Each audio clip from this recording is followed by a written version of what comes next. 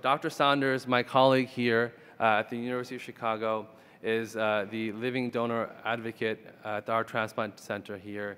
She is a bioethicist uh, who teaches at the MacLean Center. She does work and research on kidney failure uh, and disparities amongst minority patients related to organ, uh, organ failure, um, and is a, a, both a clinician, a practicing clinician, hospital, you moved hospital to general now. You used to be a hospitalist, but now is a general practitioner. Um, uh, but we've been colleagues for uh, a long time, and she's involved with a project she'll tell you about if she has time uh, that we're working together to increase knowledge uh, around organ donation. So I'll just turn over the mic to you. Yeah?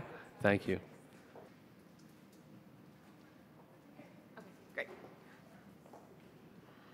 All right, thank you. I know this has been a full morning, um, so we have just a couple things to address um, during our time. Um, so I want to talk to you about um, understanding the need for living donation in the U.S., um, to understand the benefits of living donation, um, also to understand the risks, and then to understand the process of evaluation, selection, and recovery for living donors so that people can make an informed decision and to talk to people within your community about those decisions. So first we'll start off, I can get closer, um, with what do the kidneys do? So the kidneys do many things to help keep us healthy. The thing that we probably all know and think about is that they um, make urine to remove waste from our body, um, but they also make a hormone that helps to make our red blood cells. Um, they help to regulate blood pressure, uh, and they regulate minerals in our blood uh, and control how much water is in our body. And so these small organs do a lot of things. And when they are not functioning at the optimal level, we can have a variety of systems that are um, not operating as they should. And when we think about kidney disease in the US, um, it's the loss of kidney function, and it happens over months to years. Um, and it is about um, 48 million people in the US have kidney disease. That's about 15% of the population. And when we think about some other diseases that we worry about, like diabetes, which is also very important, there are actually more people in the US who have kidney disease than people who have diabetes. Um, it's also um, the most common cause is diabetes, but then also high blood pressure. There are other things that may be genetic or related to medications or other illnesses but those are the two most common things that we really worry about and want to control to prevent progression. And then end-stage renal disease, which is where someone would be needing renal replacement therapy, is the final stage of kidney disease. And it's a disease that's associated with high morbidity and reduced quality of life.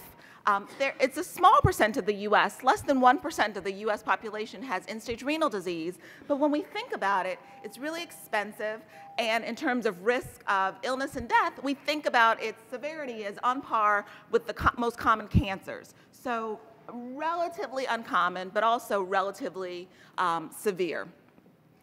Um, and we know that Muslim Americans are at a higher risk for kidney disease. I can't tell you the exact numbers because in the US we don't sort of measure Muslim American as a category and it really encompasses multiple races and ethnicities. And so, but I can say that um, Arab, Arab, Americans are at a higher risk for high blood pressure, hypertension, um, one of the most common causes of kidney disease.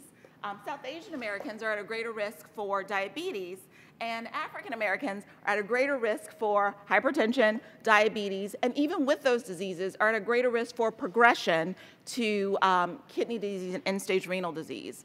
And this is just one way to look at it. So we see that when we look at the relative prevalence, so how many people have sort of kidney disease at the milder forms, we see that it's relatively equal among the common racial ethnic groups that we measure, that were measured in this study, um, whites, uh, African Americans, and Hispanics.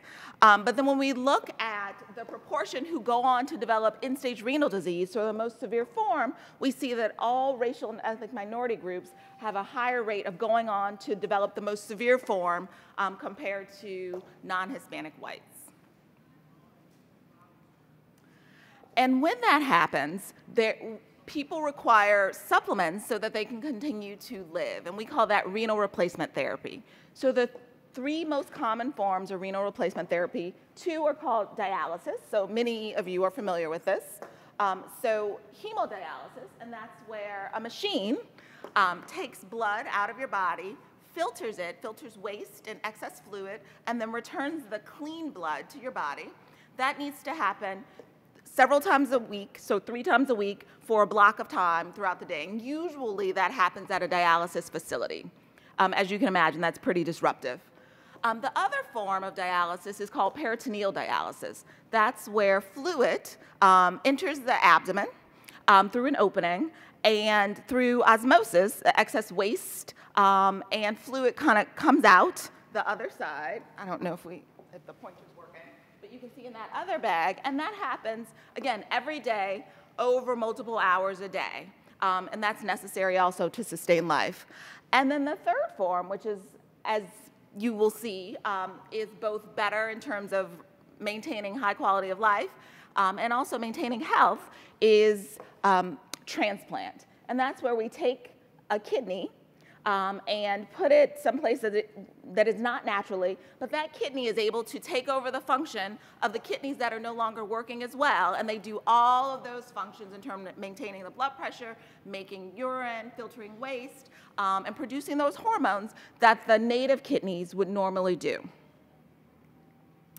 So why is organ donation important? So in the US, um, there are about 84,000 people um, waiting for a kidney transplant. Now, that's much smaller than the number of people who actually have end-stage renal disease. Um, so there are about 490, about 500,000 people who are on dialysis. So this good but less than optimal treatment for end-stage renal disease, and only a small portion of those actually appear on the transplant wait list. Um, and we know that of those people, the small select group that appear on the transplant wait list, there's still a long wait to receive um, a kidney transplant. In some regions, it's as long as five years. We say four to five years, um, but it can be even longer depending on your blood type and the region of the US that you reside in. Um, and so why living donation? So one benefit of living donation is that the transplants work better, they last longer, and people are able to get them faster um, compared to um, the deceased donor kidneys. It helps to reduce, or eliminate time on, on dialysis, um, which is associated with better survival um, and better quality of life. Um, and it reduces the wait because, as we said, there are a lot of individuals um, who need the kidneys, and the wait is about five years. Um, and we know that currently about half of transplanted kidneys in the US are from living donors um, to help to um, increase the pool um, and to reduce uh, consequences of remaining on dialysis. So then this is who can be a living donor. So adults, tip, we want people to be over 18. Um, in some places it's 21, but adults. Um, and typically under 70. Not because some 70 year olds don't have lovely kidneys and are able to um, give a kidney, um, but we also know that we want people to not just be able to give a kidney that's healthy and working, but also to do well after the surgery themselves. And after 70, we, for most of us, um, just due to living and all of the things that happen, cardiovascularly, um, the recovery may be more difficult. And so typically, um, adults between 18 to 70. Um, and then people must be able to make an informed and voluntary decision. And what we mean by that is um, people uh, who want to donate must be able to understand both the benefits and the risks and be able, not with high scientific accuracy, but just be able to articulate this is what could happen um, and this is why I'm doing it. Um, must be um, free, not receiving money or other material consideration. And, you know, they're very, as in different cultures, showing appreciation for this gift um, may vary. And so we want to make that clear because we've had discussions where people are doing something that is completely culturally appropriate by offering some, someone thanks for this gift that they're giving their family members. Um, but we want to remove that, what we think of as an incentive um, to make to allow that person to make a decision that is free without sort of thinking that they're going to get this extra thing perhaps to benefit themselves or their family. We really want it to be a gift without without strings or direct benefit. Um, and also we want people not to be pressured to agree. Um, and as many of us know, sort of families and communities are complicated. And so um, we want the best for the person who is ill, um, and we can exert different pressures um, to encourage people to say yes or to consider something that they may not. And so, certainly, um, in complicated family systems, we don't interfere with that dynamic, but we do want a chance to know that the person ultimately is making a decision um, without feeling like they have a recourse. So we can encourage people, and, and that's what we do, um, to think about things, but ultimately the decision is the person who has to have the surgery and has to sort of live with the, with the consequences. And we want donors to be in both good physical and emotional health. So no healthcare provider wants to do anything that is going to cause harm to, um, to someone. Um, and so we want people to be without um, significant blood pressure. Depending on the center, um, that can be um, blood pressure that's well controlled on one medication. Um, some centers like ours, we say no blood pressure, no blood pressure medications. Without, uh, we want people to be free from illnesses that would cause them harm in the future. So no diabetes and no kidney disease um, and then we also want people to be free from illness or disease that would cause harm to the person that they're donating to. So no cancer um, and no infections that can sort of be spread as, as they um, share their organ with someone else. Um, we want people to be able to make the decision and be sort of emotionally ready to accept the consequences. So, no um, untreated um, depression, anxiety, other mental illness, no substance abuse.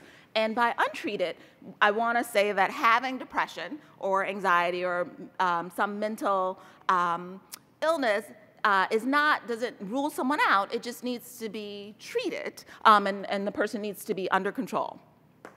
Um, and we talk to people's counselors, physicians, and therapists to ensure that, um, not as a judgment, but really to ensure um, their safety and their health. Um, and uh, we want the individual not to be um, obese um, overweight is fine in the US, as we know that weights creep up. Um, we don't want to set an impossible bar, and we don't want to set a bar that we can't meet ourselves. And so we want um, the donors to have the ability to recover um, as well as possible and to be have lower risks for future illness. Um, and so we say um, overweight. Uh, and, and I will say, though, we work with people, so people who are not quite ready to donate um, because of some issues, they haven't quite met with their uh, counselor, they may not know um, what their illnesses are, they haven't seen a doctor for a while, or they know that they need to lose weight. We welcome people to come in and sort of consider this,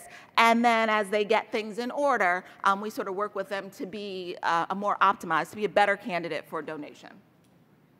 So sometimes it's a process. Um, and so when we think about costs, um, it requires a lot of visits to the medical center. Um, we try to streamline the process, as do a lot of medical centers, um, but we want to ensure that the person who donates um, is healthy and that they understand the process. And so they hear the same um, spiel about risks and benefits and have the same evaluation from multiple people, which we do on purpose so that um, people can hear that information. We welcome people's family members to come with them so that they can also hear, um, because sometimes when you're hearing stuff, you're thinking about the person you want to donate to um, and not necessarily thinking about yourself. Um, and so we welcome people to have um, their support people to also listen and, and, ask questions on your behalf. Um, we know that um, the recovery can range based on what you need to do to get back to 100%. So we recommend that everyone take at least two weeks off. Um, and some people take as long as uh, three months off, depending on the type of work they do um, or the type of recreation. So, you know, our marathon runners and weightlifters um, have as long of a recovery time as some um, police officers or firefighters. Um, but we do know that even during the recovery process, there will be some missed work um, and missed um, family responsibilities. So we often, uh, you know, we say we don't want you to lift anything, uh, we don't want you to lift any heavy weights. And so for people who have toddlers, um, that can also be a concern because toddlers are heavy and they get carried around a lot. And so we sort of work with people to think about what that means um, for them. A lot of times people are saying, oh, well, I don't do any weightlifting, or in my job, I don't do heavy lifting. Um, but you may in your sort of family responsibilities because you're a gardener or because you're a parent. Um, and so we work with people to sort of figure out how our um, restrictions or advice can work in their own life. Um, we also ask for kidney donors that um, people, um, that women, um, avoid pregnancy for one year post-donation. Um, we think that most pregnancies go well, but for young women or women of childbearing years, um, it's the riskiest thing you do, even though it's relatively not risky. And so we ask that people have a chance for full recovery and for their kidney to grow before they support a pregnancy. We also tell people that there's pain after surgery, um, and people may be on pain medication for up to a week. Some people don't need it when they leave the hospital, um, and some people require it for up to a week. After a week, we, when you come back on the visit, we'd want to make sure that everything's okay, but it's typically less than a week um, for pain medications, and we're moving away from having narcotics, and so people are often just on, on Tylenol. Um, and that is often enough to do it for them, and we have multiple modalities that we use to control pain. Um, and there can be, um, it can be expensive um, in terms of lost wages. If you're donating to someone who's not um, in your immediate area, um, there's travel to the site. Um, and perhaps the expense of having a care provider or having your support person come with you. but we don't want costs to keep anyone from donating if that's something that they're interested in doing. And so all medical centers have um, social workers who can help people find resources, but we also encourage people to look within their families or communities to sort of ask for the supports that they would need, either material supports or having coming in and helping with some things that they might otherwise pay for.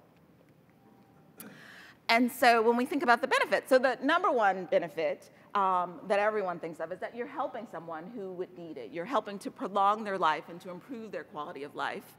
Um, but in terms of specific benefits, um, we know that the surgery and the workup is paid for by the recipient's insurance. And so all of those multiple tests and studies that people get to prove that you're healthy enough to donate, you won't have to pay for. Um, and so that, for many people, is a, and you don't have to argue with your insurance company and justify it, that's taken care of by the recipient's insurance.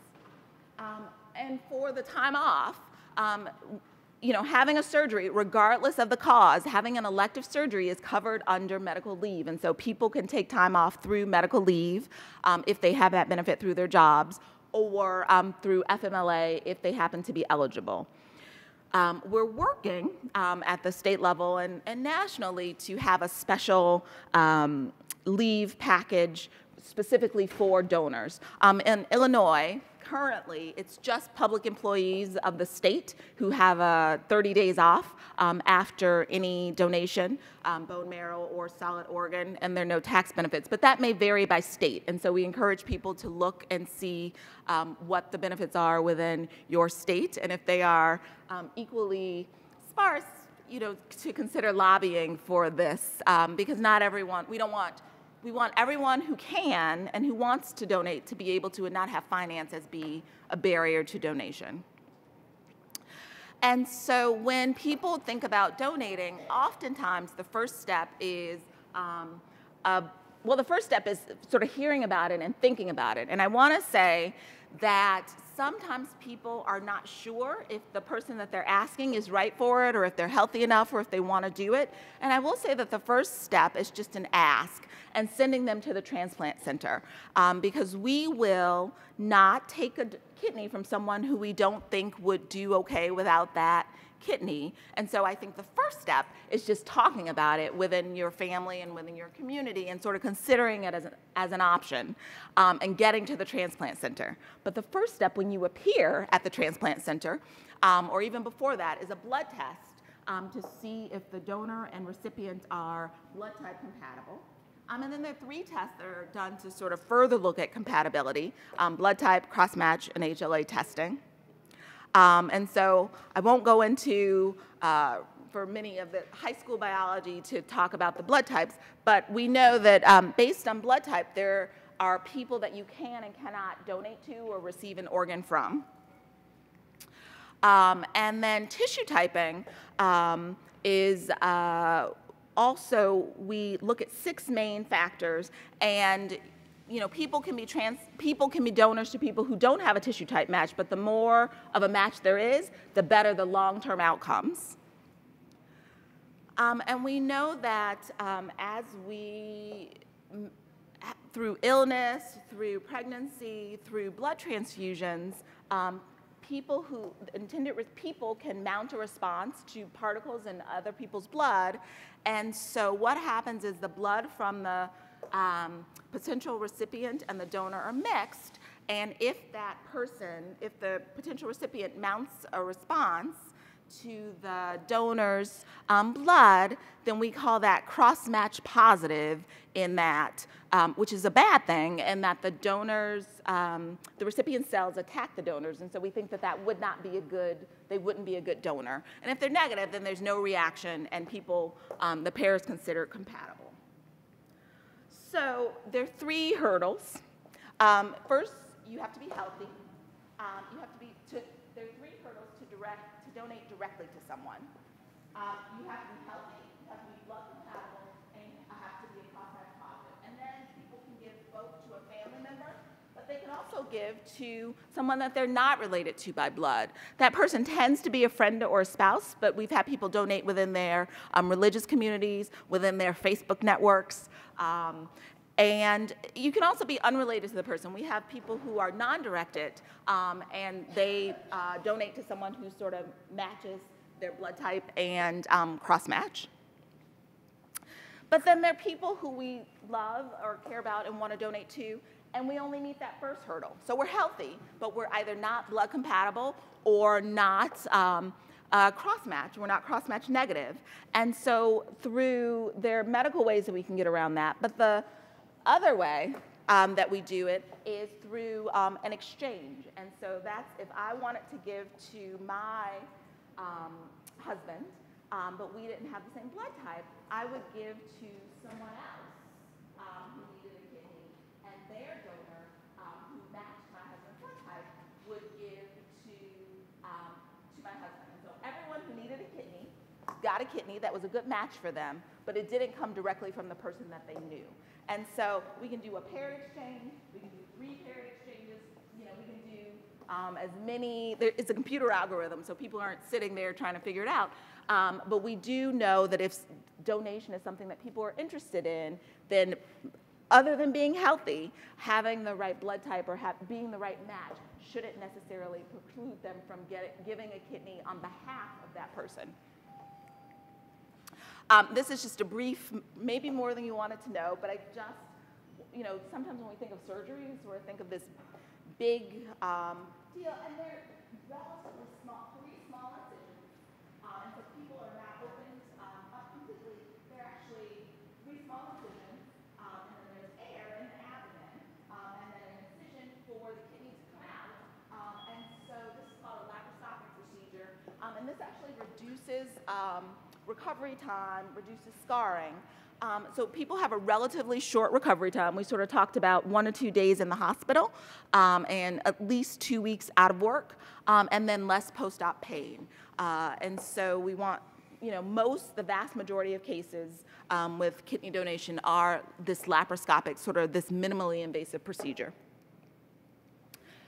And so what are some of the longer term outcomes for the donor? Um, so we know that donation is short in the safe in the short term. So the risks of going on to die, which is the, the most serious complication, is about 3 in 10,000, so very low, but still present. Um, and then major complications is from 0.2 to um, 1%. But one of the things that we want to highlight um, is that there are risks long term in having one kidney. And so the risk of going on to develop end-stage kidney disease is about five to 10 times higher in living donors. Um, and the risk of having pregnancy-related complications such as preeclampsia or high blood pressure in pregnancy um, are about two times compared to non-donors. However, um, even though those rates are higher, those rates are still relatively low.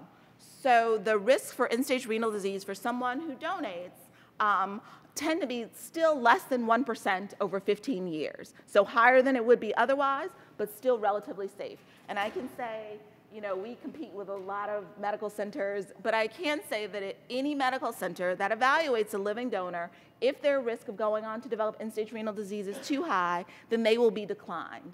We don't want to hurt, we don't want to hurt one person to benefit another. And so um, part of that low risk is because medical centers actually choose um, who should be able to donate based on their prediction um, of a good outcome. Um, we see that preeclampsia and gestational uh, high blood pressure are about 5%. Um, so this is something we use for a living uh, donor calculator. I won't go into it, um, but just to say that who your risk is based on who you are typically racial background, and then other, your age, uh, gender, uh, your pre-existing kidney function, blood pressure, um, and then BMI. And so uh, as people come and talk to um, the medical provider, um, rather than sort of having the general lists, um, people can hear how the risk of kidney disease applies to them specifically and sort of make a more personal decision. All right. So we know for us, and hopefully for, for all of you, the primary goal is to prevent end-stage renal disease um, through maintaining a healthy weight, um, avoiding uh, diabetes, avoiding high blood pressure, and if uh, we have those diseases, getting those under control so that we don't develop kidney disease. Um, but living donation is a wonderful thing to consider. Um, but we want people to understand both the risks and the benefits and the costs um, and to make the best decision for themselves and, and for their family.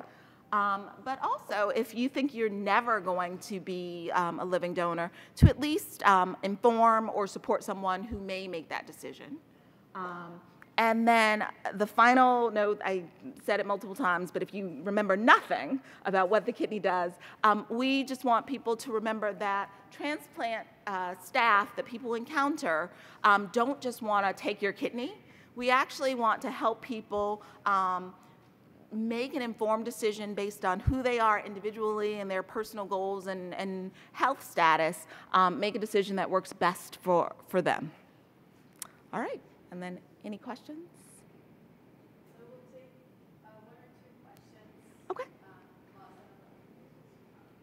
Great. So I can, I can give the mic to whoever has a question. Anybody have any questions? Okay. Right there, okay. Yeah. I don't know if you need names, but David McCurdy from Elmhurst College. Okay.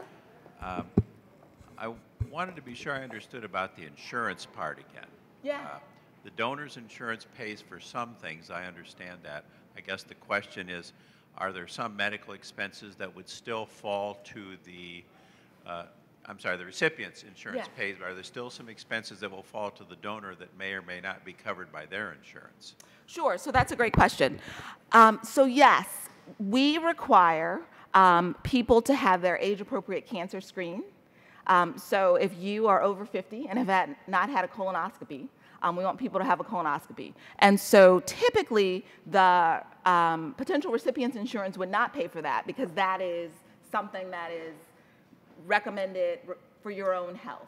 Um, so things like that. If you um, have, uh, we talked about, uh, you know, if a center, if you have high blood pressure and we need your blood pressure to be controlled in order for you to be considered a donor, the recipient's insurance would not pay for the blood pressure medication because that's sort of part of your ongoing care. So things that are ongoing um, would be paid for, but everything, including the medications that you have, um, you know, the pain medications that you have upon discharge are paid for by the recipient's insurance. And a lot of some of the diagnostic workup too. If we think, you know, if you are over 50 and you need a EKG, that's part of the donor workup, that's paid for by the recipient's insurance. And then the, the visits to the medical center are also paid for um, up to two years after. Yes. Um, my question, Oh, sorry. Um, my question is that if somebody is already a had a transplant and would like to be a donor, can they be a donor? if they've had a transplant, Yeah, if they have any kind of trans- transplants, can they become a donor? Yes. So we have had, s yes. So th- the short answer is yes. Um, we would want to make sure, depending on the type of transplant, how recent that was and where the transplant was.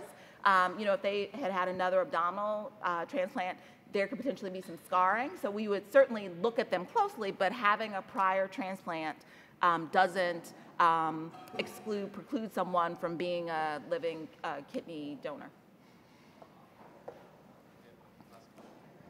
Thank you. Um, in the case of Uh, chain donation, are there opportunities for the people who, for the donor and the recipient who are strangers to have relationships and get to know each other? And in general, what's the center's, your center's, or perhaps more generally in the United States, attitude towards relationships created between donors and recipients? Is that something that they feel like they have to control? I mean, there's people have complained about the so-called Frankenstein syndrome when people feel like something that doesn't belong to them is inside their body, they want to get rid of it, and so some centers are inclined towards reducing relationships, right? Yeah. so one thing I think people want to reduce, um, manage the relationship before donation, right? Because up until the point where um, you donate, we want people to feel free of um, coercion and feel like they can back out. And so that certainly is true of non-directed donors.